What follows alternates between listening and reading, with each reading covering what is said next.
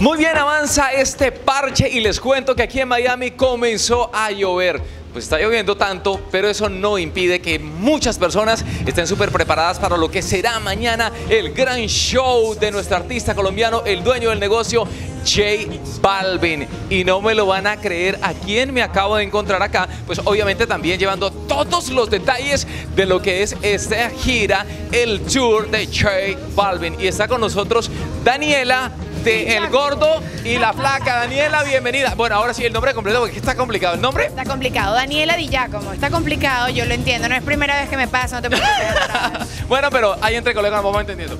Claro que sí, tú sabes. Eh, países hermanos, países hermanos. Tú te sabes las chucherías que comemos en Venezuela, yo me sé las que se comen en Colombia, también nos gusta el mismo reggaetón. Bueno, Daniela, hablando de este reggaetón, pues nada mejor que los periodistas aquí para que nos cuenten cómo le ha ido a J Balvin realmente, qué tanta aceptación tiene y bueno, qué expectativa tienen para el concierto de mañana. Él bromeaba muchísimo porque él dice que él no es famoso y yo le digo, pero ¿qué estás diciendo?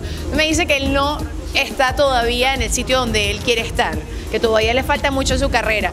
Yo me acuerdo J Balvin hace dos años que todavía, tú sabías que él era reggaetonero, sabía que cantaba tal canción, pero ¿qué pasa? Ahora J Balvin pasa por acá por una calle y las mujeres yo creo que se van desmayando, van cayendo a su paso increíble, todas las expectativas del mundo. Es el primer concierto, está abriendo acá en Miami, tiene 20 fechas y son, me estaba diciendo, una tras otra que no va a poder ni aterrizar. Yo creo aterriza directo así en el escenario. Quizás esa sea la forma en que comience el concierto, quién sabe, no lo sé. Bueno, y sobre todo el talento, la humildad y sobre todo pues la sencillez que también nosotros acá quienes estamos cubriendo este tour pues nos damos cuenta y sobre todo que es muy querido con, con los medios de comunicación y eso hace también que los oyentes y los televidentes también del gordo y la placa, hoy sí me siento como el gordo y la placa, pero yo creo que más bien la alta y el, y el, y el, chaparrito.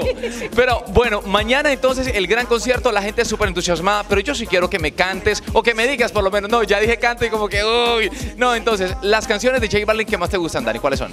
Yo la primera vez que entrevisté a J Balvin, y esto me acuerdo como si fuera ayer, le dije que es la música que yo pongo para activarme cuando voy de rumba.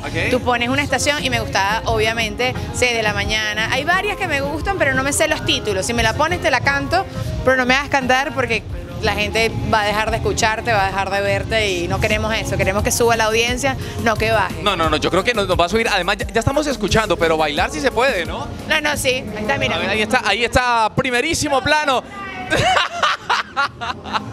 Del gordo y la flaca a través de Oxígeno con Colombia, a través de Oxígeno Colombia. Muchísimas gracias, Daniela. Y un saludo para todos tus televidentes también y todos nuestros oyentes de Oxígeno. Y ahí el micrófono es tuyo de Oxígeno y ella va a despedir esta nota. A toda la gente de Oxígeno, un beso muy grande. Espero que disfruten el concierto y que sigan sintonizando acá, Andrade, por acá. Over oxígeno. oxígeno. Y viendo el gordo y la flaca. Y viendo el gordo y la flaca para que aprendan de moda. Conmigo es moda y con el gordo y la flaca es chisme, noticia, todo. Ok, listo. Este es el parche en la radio que está de moda. Oxígeno.